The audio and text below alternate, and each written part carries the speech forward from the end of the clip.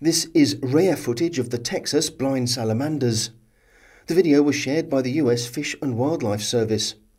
The Texas blind salamander is a cave dwelling amphibian that's listed as vulnerable on the IUCN's red list of endangered species.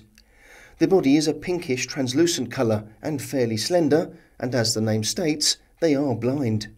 They can only be found in the Edwards Aquifer, specifically in the San Marcos area in Texas.